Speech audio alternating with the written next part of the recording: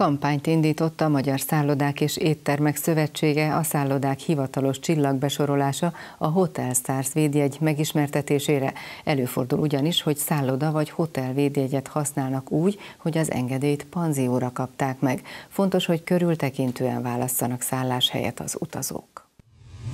Néhány kattintással az úti célpont és a szálláshelyek is fellelhetők ugyanazokon az oldalakon. A foglalások 80%-a neten történik, az egyes szállodai kategóriákat illetően a legtöbben a három csillagos szálláshelyeket keresik. Nem árt vigyázni, mert a szálláshely közvetítő oldalak garanciát és minőséget nem vállalnak a szálláshelyek színvonalát illetően. Európában 16 ország 28 ezer szállodáját minősíti egységes szabályrendszer alapján a Hotel Stars, ez egy minőségi rendszer. A szállodacsillagoknak biztosítaniuk kell azt, hogy a vendégek azt kapják, amire befizettek. 270 kritérium alapján vizsgálják a szállodákat, ami egy nagyon szigorú rendszer. A csillagokat nem elég megszerezni, minden évben meg is kell tartani azokat. A védjegy minősítést négy évre kapja meg a szálloda, a szálláshelyeknek egyébként nem kötelező használniuk a csillagokat, ha nem szeretnék minősíteni magukat, vagy használhatnak tetszőleges jelzéseket is. A falusi vendéglátóhelyeken például a magyar védjegy a napra Köszöntöm a stúdióban dr. Görömbeiné Balmaz Katalint, a Országos Fogyasztóvédelmi Egyesület alelnökét. Jó estét kívánok! Jó estét kívánok! Nos, hát fogyasztóvédelmi szemmel vajon miért tartották fontosnak ezt a programot beindítani? Tulajdonképpen a Európai Unióhoz való csatlakozásunk a következménye ez is, hogy a fogyasztó mindenhol egyforma minőségű szolgáltatást kapjon az azonos megjelölésű helyeken, mivel hogy ez egy Európai Uniós minősítési rendszer. 2012-től lépett be Magyarország ebbe a rendszerbe, ekkor szüntek meg a korábbi csillagjelölések, illetve egyéb jelölések, tehát akik korábban használták ezeket a jelöléseket, és már ebbe az új minősítési rendszerbe nem léptek be, illetve nem kapták meg, ők már ezt a régi fajtát nem használhatják. Ugyanis ez a fogyasztónak a megtévesztésének minősül, és fogyasztóvédelmi hatóság vizsgálhatja azt, hogy jogszerűen használja-e, és ha nem jogszerűen használja, illetve megállapítja azt, hogy általában a fogyasztó által ennek a sugallása alapján megfelel annak a elvárásnak, illetve annak a kritériumnak, amit a jogszabály előír, abban az esetben is bírságra számíthat a, a jogszerűtlen használat miatt. Mi az, amivel nekem, mint fogyasztónak feltétlenül tisztában kellene lennem e, ezzel a Hotel Stars védjegyel kapcsolatban? Mi, mi az, amilyen elvárásaim lehetnek? Mint ahogy a bejátszásban is elhangzott, ez egy nagyon magas színvonalú követelményrendszer mindenképpen érdemes körültekintően eljárni. Mindig ez a slágertében, hogy tudatos fogyasztóként, tehát ha lefoglalunk egy hotelt, hotelt is foglalhatunk, de most hotelről beszélünk, tehát ha lefoglalunk egy hotelt, akkor ne csak a internetnek a szállás ajánlóin keresztül nézzük meg, hanem ma már minden hotelnak van saját honlapja. Menjünk el, ne legyünk restek, ráérünk otthon, kényelmesen nézzük meg. Azon kívül, hogy milyen szolgáltatásokat, hány csillag mit takar, azt szintén megtaláljuk a Eurostartnak a honlapján, ez egyébként ez egy EU-s honlap, tehát nem .hu, hanem .eu a vége, ugyanis öt csillaggal, tehát egy csillag, két csillag, három csillag, négy csillag, öt csillaggal minősített szállodák vannak, és ez mind az igényünknek, illetve a pénztárcánknak, vagy az elvárásainknak megfelelően tudunk választani, hogyha tudjuk, hogy még csillag mit akar. Tehát mindenképpen előzetesen tájékozódjunk. Milyen jogorvoslatra van lehetőségünk, hogyha nem azt kapjuk, amit mi foglaltunk, vagy amit vártunk, és kiderül, hogy megtévesztettek bennünket? Itt elsősorban arra kell felhívni a fogyasztóknak a figyelmét, hogy ők szerződésben tulajdonképpen az adott szálláshelyjel vannak. ha szálláshely internetes kínálón keresztül foglaltak szálláshelyet, illetve ha úgy foglaltak szálláshelyet, hogy szállodából közvetlenül. Más a helyzet, hogyha utazás szervezésen keresztül, de arra majd kitérünk. Tehát mindenképpen, ha problémánk van, bármilyen panaszunk van, bármilyen elvárás ne, nem felel meg, akkor azonnal kell jeleznünk, haladéktalanul így fogalmaz a jogszabály. A szállás felé? A szállás hely felé.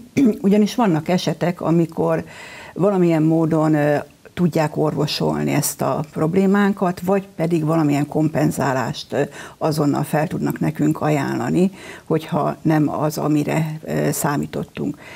Ha ennek ellenére mégsem az lesz a végeredmény, amire számítottunk, akkor fordulhatunk ugye a békeltető testülethez, illetve ha úgy látjuk, hogy a szálloda jogosulatlanul használ bizonyos minősítő rendszerben kialakított jelöléseket, akkor akár a gazdasági versenyhivatalhoz is, vagy pedig a Nemzeti Fogyasztóvédelmi Hatósághoz is tehetünk bejelentést, de azt tudni kell ezekről a hatóságokról, hogy itt a közvetlen panaszkezelésnek nincs helye, tehát a mi egyéni problémánkat nem fogják megoldani, hanem csak általános intézkedést tudnak a jogsértővel szemben alkalmazni. Jól értettem, hogy amennyiben ott a helyszínen nem jelezzük, hogy nekünk gondunk van ezzel a szálláshelyjel, akkor a későbbiekben ezt már nem tehetjük meg? Megtehetjük, csak nehéz a bizonyítás.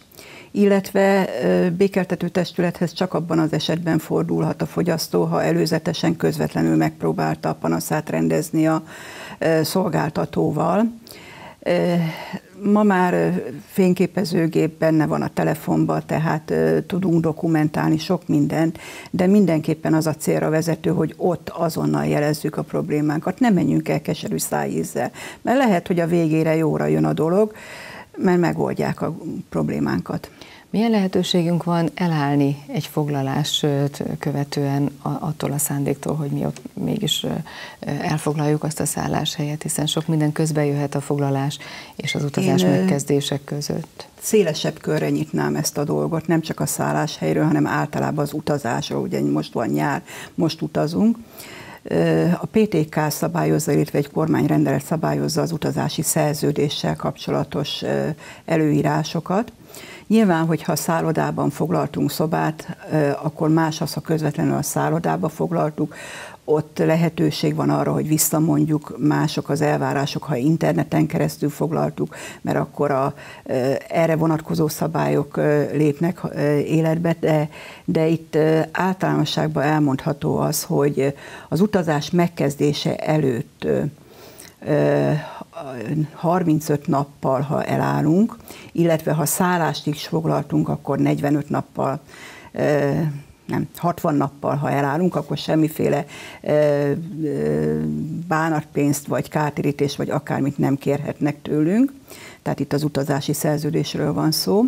Ha olyan utazási szerződéstől állunk el, amiben szálláshelyet is foglaltunk, és ez 45 napon belül történik, akkor ott 10%-os bánatpénz a maximum, amit ki lehet kötni, de ezt előzetesen kell az utazási szerződés írásba foglalásakor, illetve ha csak sima szálláshely nélküli utazási szerződésről van szó, akkor ez az elállási lehetőség 35 nap, amikor még ez a dolog jön szóba.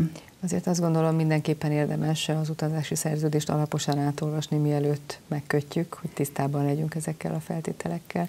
Egy utolsó kérdés, mik a leggyakoribb panaszok a fogyasztóvédelemnél utazással kapcsolatban? Pont a szálláshelyekkel van a leggyakoribb panasz, illetve a másik pedig az, hogy nem azt a szolgáltatást kapták, nem olyan programokat kaptak, tehát a szálláshely az, hogy ami, ami legtöbbször becsapós, hogy a magyar minőségi rendszerben foglaltak szerint gondolkoznak a fogyasztók. Egy Egyiptomban lévő háromcsillagos szálloda régi csillagokat figyelembe véve nem ugyanaz, mint Magyarországon. Egyébként el kell azt mondani, hogy az utazási irodának, az utazás szervezőnek kötelessége tájékoztatni a fogyasztót attól, hogyha nem a magyar elvárásnak megfelelő az ottani osztályba besorolás, akkor tájékoztatni kell, hogy az, az itteni általános elvárhatóság szerint milyen szintnek felel meg. A másik lehetőség, vagy másik probléma pedig az, amikor szóban sokkal több mindenről tájékoztatják a fogyasztót az utazási szerződés megkötésekor, de ez később írásban nem kerül rögzítésre.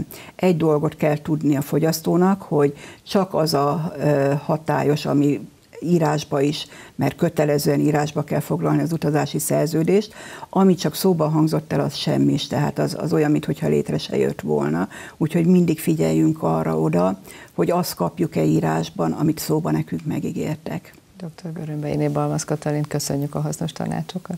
Én is köszönöm.